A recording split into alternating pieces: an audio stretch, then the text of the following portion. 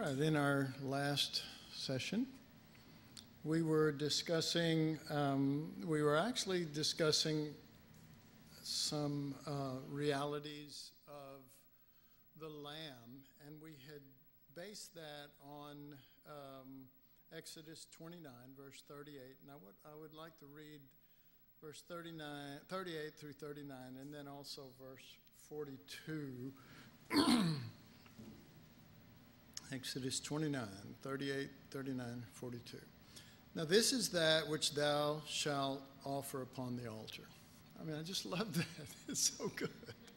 I mean, it's not, it's not simple, it's just so incredibly God talking to us. Two lambs of the first year, day by day, continually. That's what I want. The one lamb thou shalt offer in the morning, and the other lamb thou shalt offer at evening.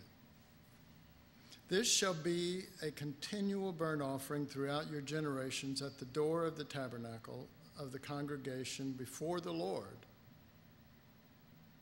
In other words, all this is at the door of where God's house is, where He's located, before the Lord, where I will meet with you to speak there unto you. Okay. So, this is the place that God wants to meet. He wants to speak to us. Um, let's see, how did I write this? This is the place where God wants to meet, and this is the subject He wants to talk about, which was the, the offering of lamb continually, day by day, in the morning and in the evening, and this is where I want to meet with you, and this is what I want to talk about. Um, any other place or conversation is not communion, it's one sided. Okay. Now that's important. I mean, it really is. It's not just a small thing. That's important because we talk to God about so much junk. And I'm not talking about our spiritual prayers during church services. I'm talking about the general stuff that we present to God if we even spend any time talking to Him. and, you know, somebody said once, well, I'm not really a prayer person. I think that was me. Um, and I'm serious, you know. but he said, I want you to meet me there. I want you to meet me at, because you know where there is, don't you? You know where the door is, don't you? It's the, the brazen altar is right there. That's the place. That's where he wants to talk, and he wants to he wants to do it in relationship to the temple. That'd be us, okay? and he wants us to commune with him uh, in the altar, in the sacrifice or the offering. Because um, really, it's a sacrifice to the lamb, not to the person. you know, I mean, we offer him, but it's a sacrifice to him, not to us. But we are supposed to offer the one who willingly will give himself. And we're supposed to offer him to God. And God wants to meet and He wants to talk about that. and um, so we say, well, okay, well, I'll only do that when I get to the door of the church. We are the church, we are the temple. when you're getting up in the morning, which reminds me, I want one of those. So may I please, before before we leave, I'd, I'd love that. That's really wonderful. And it is what I was talking about last class and this class. It, it came, it came from it.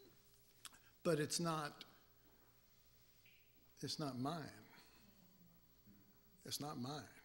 And anything that I say in these Thursday night things is not mine, and it's not me, and it's not what I want communicated, anything of an authority or anything of someone that has seen something except as the Holy Spirit says, say this. And in the same moment, I pray and say, work that in me make that in me. Fill me with that spirit. And, and don't want to leave that. I don't want to leave that. And I don't want to leave that with distractions of, of things that, you know, um, aren't going in that direction. Not that the church is, and that's not what I meant, but things that come up regularly, issues and things that can pull me away from my first love. You know? And then I go for months or years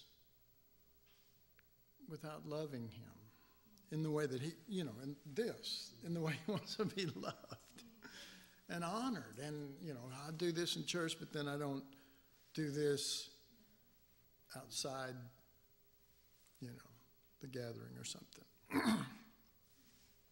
All right. So, um, and Lindsay, I guess we'll call this the progression from altar to altar. We've discussed the fact that the fire came down on the altar, on the brazen altar, uh, but that fire, that actual first fire, the first one, lives on forever throughout all generations and is taken also to the altar of incense with the coals and lights the altar of incense. So I'll just read so I get, because I you cannot believe how little I covered last time. But in God's order, his fire first descended. This is the first thing, it first descended and consumed the offering on the brazen altar. Then coals were taken from it and set upon the altar of incense.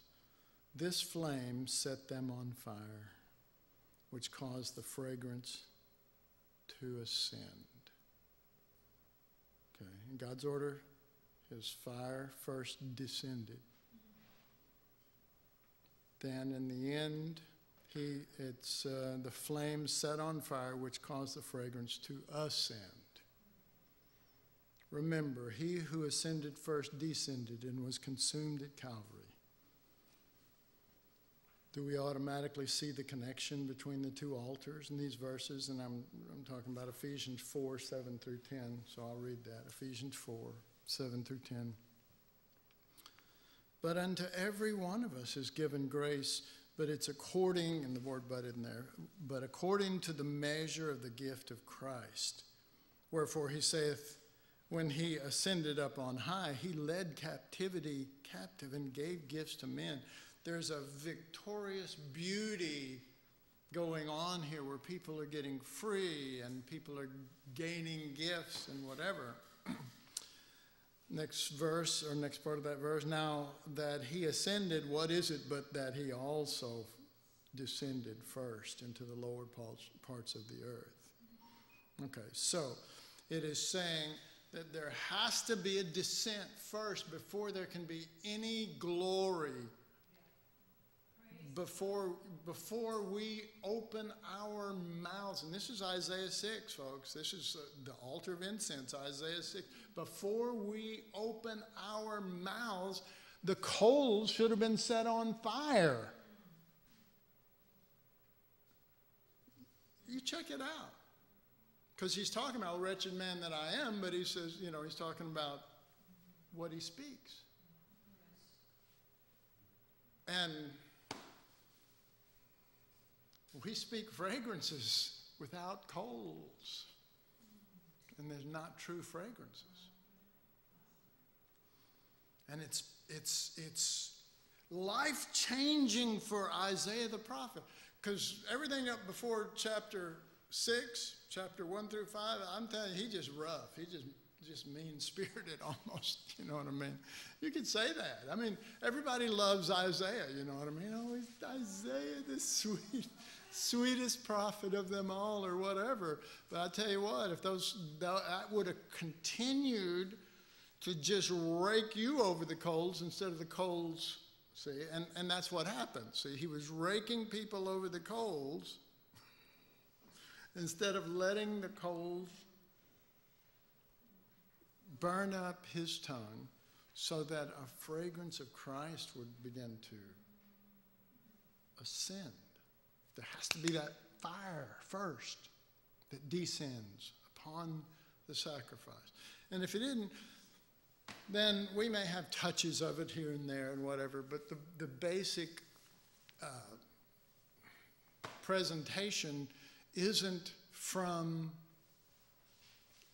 death in him to resurrection of him as the sweet incense to God. Um, so the rest of the verse says, uh, Now that he ascended, what is it but that he also descended first into the lower parts of the earth? And here, this next part, this last sentence here is very important.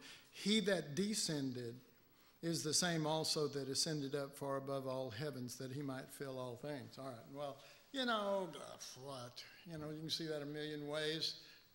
It's saying that the one that the fire fell on, the one that was crucified, the one that was the burned up offering, that's the same one that ascended.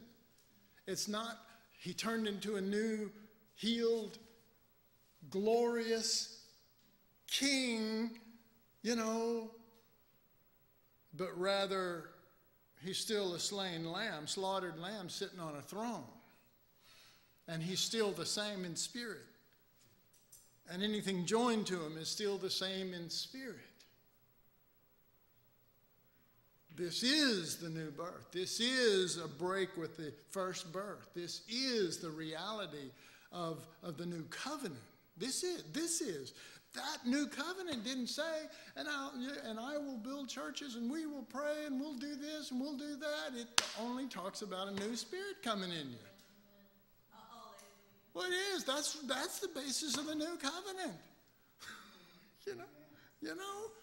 And we make it everything. We, see, we're so cluttered with religion that we can't even see the simplicity of the truth that's in Jesus because we're all bound up, you know, and all this stuff does bind us up. You know, religion is, is it'll bind you up. And it's hard to break free, free from that because, uh, you know, right and wrong, the tree of the knowledge of good and evil, and all this kind of stuff instead of Jesus. I want Jesus. I just want you.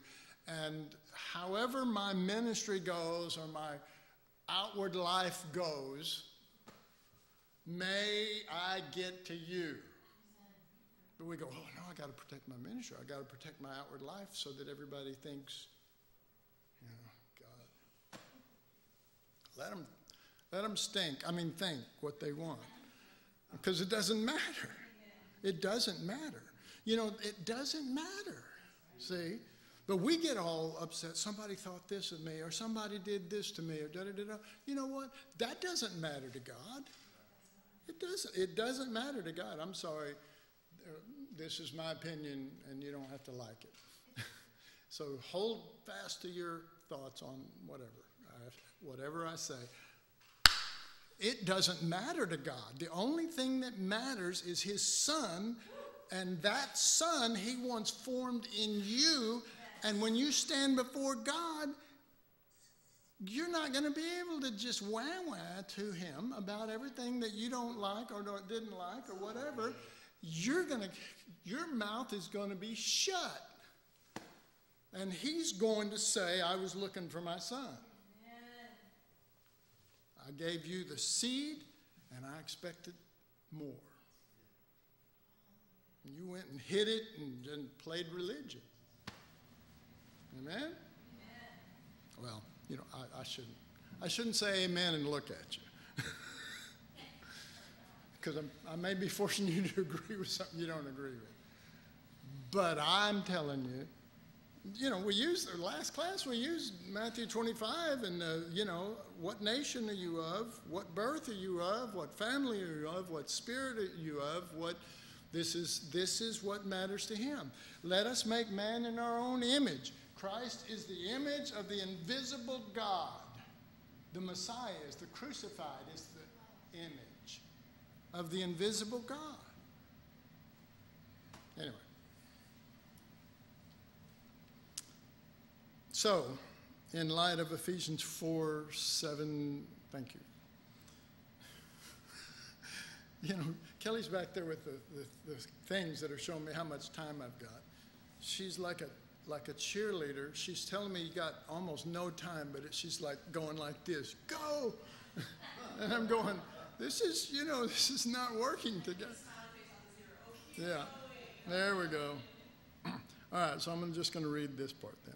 The fire that ascended at the altar of incense is the same fire that first descended on the brazen altar to burn up the sacrifice. He that ascended is he that first descended. Okay? So, so okay, now what, what are we talking about now? We're talking about an actual reality of the altar of incense and that we're supposed to see it in Christ first before we see it in us. And that we're supposed to see the fulfillment of what was in the heart of God, which wasn't a box with some incense on it. And oh, I like incense. You know, I'm a God, I really dig this incense. Burn it, baby, all the time. I want it all the time. You know, as if, I mean, that's just ridiculous. But we get more out of that than we do Ephesians talking about this descending and ascending and that process that is going to bring forth glory to God in the end because it is a process from a progression from altar to altar. So never, you never leave the altar. And the same fire that burned up the lamb, welcome to all of us. He put it on Isaiah and he's going to put it on you. so I'll read that again and then I'll read the next sentence with a big and in front of it. The fire that ascended at the altar of incense is the same fire that first descended on the brazen altar to burn up the sacrifice. And the lamb that first was set afire for destruction is the same lamb that ascended to the glory of the Father. Same one. See, the, the key word in that last verse there in verse 10 he that descended is the same. He's the same one that got raised. He didn't change him, he only glorified him. All right. In these verses, we see that he rose as a sweet smelling savor to God. And to him, God, he wants this given Jesus to fill all things. Isn't that what it says here? Yeah, la- the very last phrase of Ephesians uh, 4:10, that he might fill all things. Do you see that? This is not, he's not just confining it to himself. Okay? That he might fill all things.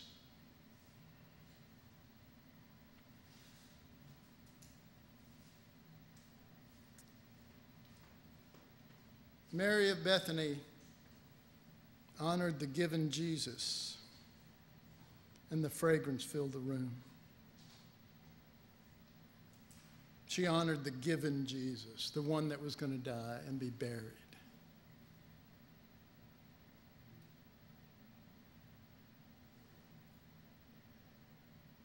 And the fragrance filled the room. To her,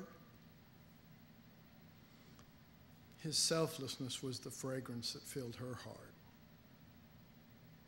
Not, not her little jar, and you know, and everybody's going, "Ooh, the jar! Oh my God, the stuff!" That she gave up for Jesus. What a woman.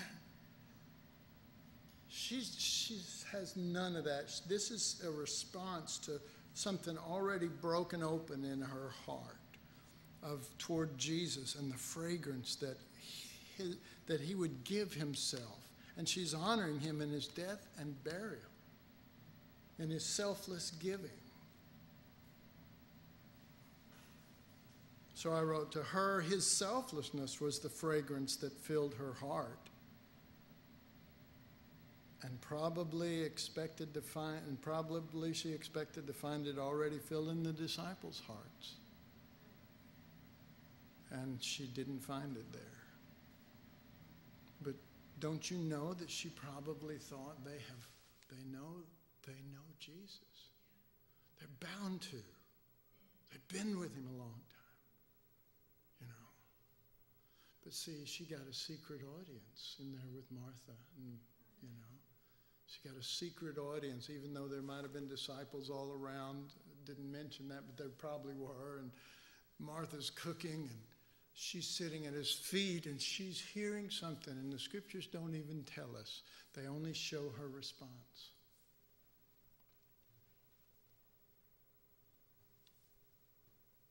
And she, I bet you anything, she fully expected this to already be in them and for them, for them to just like go, oh, yes, yes, yes, to this one, this lamb, this spirit, be all glory and let us break everything we got and pour it out. Instead, they didn't understand the altar of incense. They didn't understand that it was a real thing. They didn't understand that it was, you remember it says of that, it filled the, the, the place. It filled the place that he might fill all things. And to her, that fragrance was filling, she thought it was filling the place. It certainly was filling her. And then their response, you know, well, we could have used this for the ministry. What a waste. And Jesus says, let her alone. Let her alone. She did this in relationship to my burial, which means my death and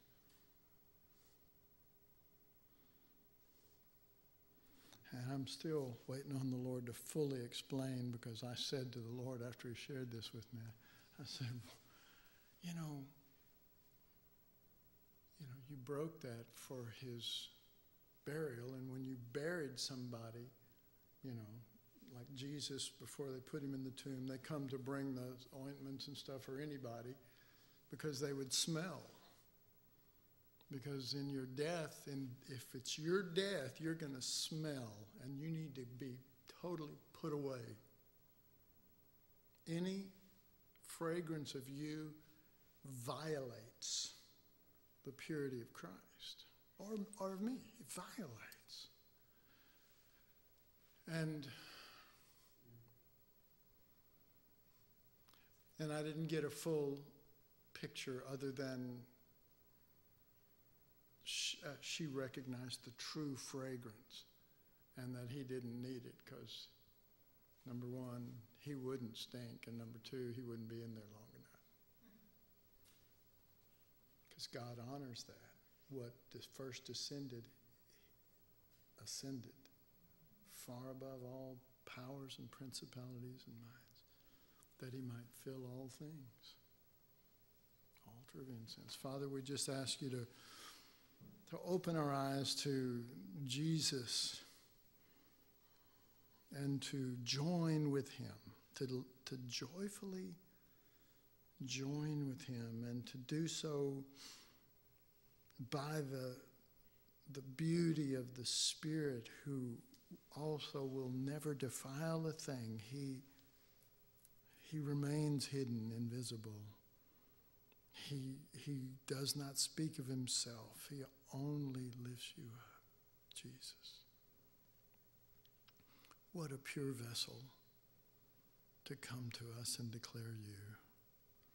May we not be as the disciples and totally miss a, an eternal moment, a precious moment.